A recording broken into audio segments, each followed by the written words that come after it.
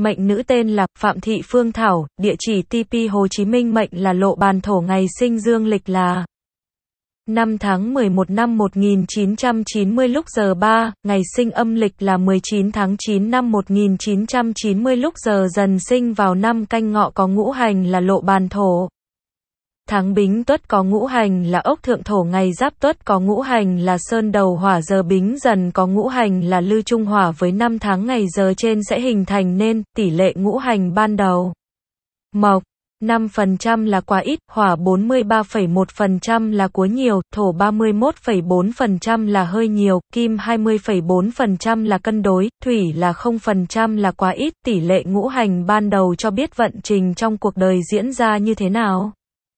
Ngoài ra còn cho biết tính cách sẽ hình thành ban đầu. Tỷ lệ ngũ hành ban đầu giúp suy ra tỷ lệ ngũ hành hiện tại được tích lũy qua từng năm. Nguyên nhân tỷ lệ ngũ hành mỗi năm biến động là do hai yếu tố, một là do vấn đề thời gian, hai là do môi trường. Tính cách thông qua tỷ lệ ngũ hành ban đầu của mệnh lộ bàn thổ có nhiều ngũ hành hỏa là, hỏa chủ về lễ, tính nóng nhưng tình cảm lễ độ. Người hỏa thịnh thì đầu nhỏ chân dài vóc người trên nhọn dưới nở, mày rậm, tai nhỏ, tinh thần hoạt bát, cung kính lễ độ với mọi người, tính nóng gấp. Người hỏa suy thì dáng người góc nhọn gầy vàng, nói năng ề à, dối trá. Cay độc, làm việc có đầu, không có đuôi. Mệnh này nên bổ sung các ngũ hành nào quá ít giảm bớt các ngũ hành quá nhiều, mệnh này nên bổ sung các ngũ hành nào quá ít giảm bớt các ngũ hành quá nhiều, họ và tên chi phối 10% số mệnh. Họ tên và địa lý làm cho những người có cùng thời điểm sinh ra có số mệnh khác nhau theo thời gian, họ đại diện cho tổ tiên họ mà tốt thì được tổ tiên giúp đỡ. Họ xấu thì không được giúp đỡ hoặc rời xa quê hương, họ mà trung bình thì được nhờ tổ tiên và tổ tiên cũng được nhờ mình. Họ phạm đối với mệnh này là xấu nhiều ngoài ra họ phạm ý nghĩa là phép tác. Hạn chế, tên này cha mẹ muốn nhắc nhở con phải biết cân nhắc tránh mắc sai lầm. Ngũ hành thuộc hỏa sinh ra thổ, được mộc tương sinh nhưng kỵ với thủy và khắc với kim. Tên lót đại diện cho anh em bạn bè tên lót mà tốt thì được nhờ anh em bạn ngược lại thì bị anh em bạn bè tranh đoạt và lợi dụng. Tên thị đối với mệnh này là tốt ngoài ra tên thị ý nghĩa là xem xét. Theo dõi, ngoài ra thị còn chỉ người con gái nhu mì mềm mại. Ngũ hành thuộc thủy sinh ra mộc, được kim tương sinh nhưng kỵ với hỏa và khắc với thổ tên đại diện cho bản thân và thành tựu tên cũng như khát vọng của cha mẹ. Tên mà tốt thì có được thành tựu. Tên xấu thì vất vả gian nan, nên chọn các tên phù hợp để có số mệnh tốt hơn. Tên phương đối với mệnh này là trung bình, ngoài ra tên phương có ý nghĩa, thông minh, lanh lợi, cả đời bình dị.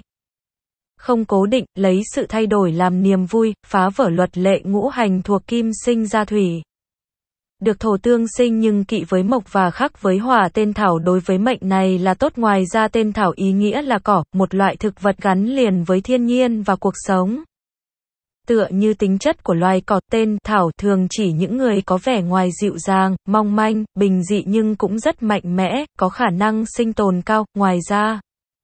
Thảo còn có ý nghĩa là sự hiền thục, tốt bụng, ngoan hiền trong tấm lòng thơm thảo, sự hiếu thảo, ngũ hành thuộc mộc sinh ra hỏa, được thủy tương sinh nhưng kỵ với kim và khắc với thổ.